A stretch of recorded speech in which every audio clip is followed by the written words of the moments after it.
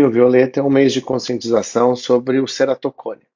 Ceratocone é uma doença que dá na córnea. A córnea é essa parte aqui, né, do olho. Uma córnea normal, ela é assim, redondinha. Uma córnea com ceratocone, ela é mais pontuda, a diferença de uma para outra, né? Formando um cone mesmo. Isso causa alguns transtornos na visão. Então, normalmente a pessoa começa com muita dificuldade de escolher o grau dos óculos, o exame é sempre difícil, muitas vezes não fica legal. O grau muda muito rápido, ou se vai em dois, três oftalmologistas, sempre dá graus diferentes. A visão com óculos começa a não ficar boa.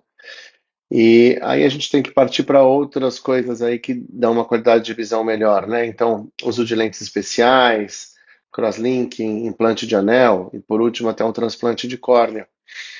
Mas o ideal é a gente fazer a prevenção. Essa é a função aí do, do Junho Violeta, conscientizar as pessoas que existe prevenção. A prevenção principal de ceratocone é evitar coçar os olhos.